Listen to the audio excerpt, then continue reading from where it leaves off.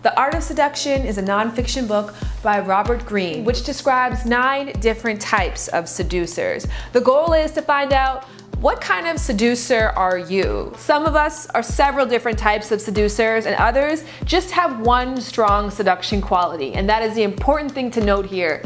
It isn't the quantity but the quality of seductions that makes someone truly irresistible. This video is done in partnership with Adam and Eve, an adult online store where you guys can go and get all of your sexual fantasies met from the comfort and privacy of your computer. Every single outfit that I'm wearing in this video is from adamandeve.com. Now, if you do choose to go to the site and you do see something that you want to pick up and buy, use my promo code, which gets you 50% off any one single item plus free shipping.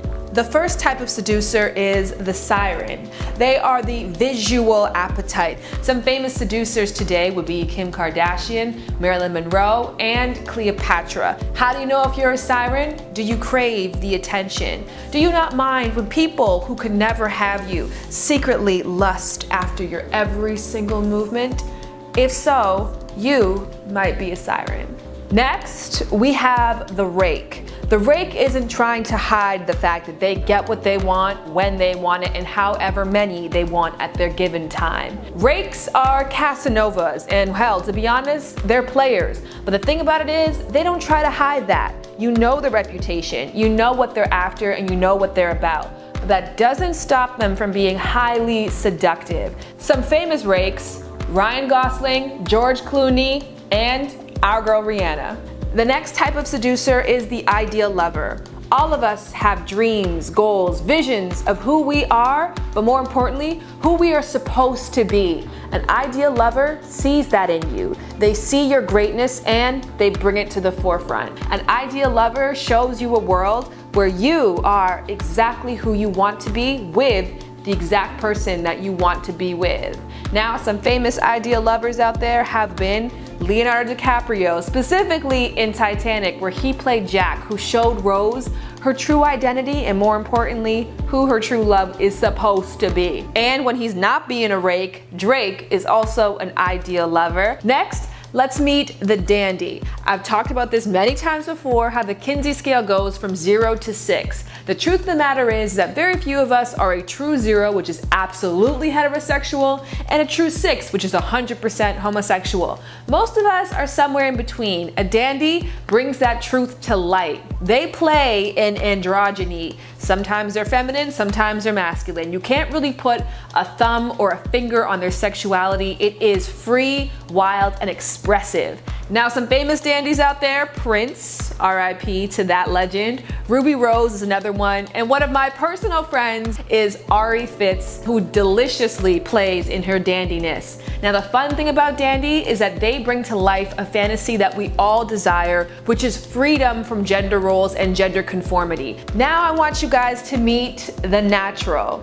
All of us secretly long to go back to our childhood days when we were free from insecurity, free from responsibility, and just free overall. The natural brings that fantasy to life. They remind us of childhood and that carefree time. They play constantly, they have fun wherever they go, and they don't seem too concerned about the responsibilities of adulthood. Some famous naturals that you guys probably know are Channing Tatum. Another famous natural is Chrissy Teigen. If you are a natural, you defy age. You just live. And it's beautiful, it's effortless, and hella seductive. Let's talk about the coquette. The coquette is the tease. They are the person who has so much restraint, it drives you crazy. Now, they might give you a little taste, they might flirt a little bit, but they will never ever let you go all the way until they are completely satisfied and sure that you will go crazy without them. The coquette is very good at the cat and mouse game.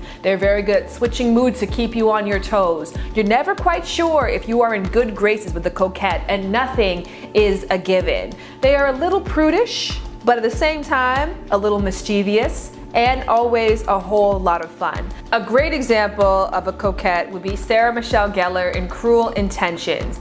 Now, she was saving herself, but that doesn't mean that she was sparing any of her victims. Are you a coquette? Do you always keep your partners guessing? Do they have to earn every single rite of passage of pleasure from you? If so, you will forever be a mystery. You will always be an object of desire because people will never truly have you. Because I'm getting a little tired of changing outfits, we're gonna roll the charismatic and the charmer into one, even though in the book they are separate things. Somebody who has charisma, somebody who is a charmer, makes you feel like the most special person in the entire world. They give you undivided attention, but most importantly, they are the kind of person that everybody craves attention from. They walk into the room and it lights up around them. They make everybody feel feel good. They tell everyone how good that they look. They give compliments. They give a great feeling. Some famous charismatic charmers of our time Probably every single funny person you know, Kevin Hart being a major one, Oprah Winfrey also giving you that special feeling where you are an individual with so much power waiting to be unleashed, yet at the same time, you are very well aware of her power. Are you a charismatic charmer? Are you fun? Are you funny? Are you effortless? Do you naturally walk into the room and everybody wants to know who you are and what you do? And do you feel good about yourself? The most important thing and quality of a charismatic charmer is that they have very high self-confidence and self-esteem. They're honest, they're humble, they're forward, and they are insanely seductive. The final seduction quality is the star.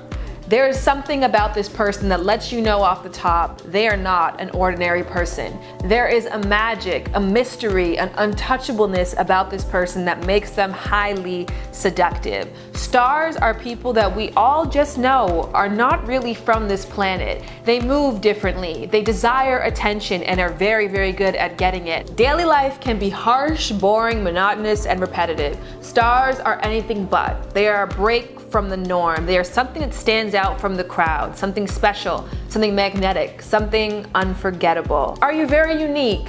Kind of mysterious, a little aloof, but highly interesting. Can people not take their eyes off you? That's how you know that you are a seductive star. Now for the million dollar question. What kind of seducer are you? Let me know in the comment section below and while you guys are down there pressing all kinds of buttons, hopefully subscribe and like, that would be pretty nice. Also check out the info box where you can find all the adamandeve.com links to every outfit that I wore, in addition the promo code information, and lastly, if you're not quite sure what seduction style you are just by listening, I put a couple quizzes in there too you guys can take to really find the true answer, but then when you do the quiz, come back and tell me what kind of seducer are you? Okay, that's it. You guys, this video was hella exhausting. Let me tell you something. Know you love the shop, but can't with no bucks. You ain't trying to flip them cheeks for no ones. No one about to rub the buns for good luck. I get it, girl. Oh yeah, I get it, girl.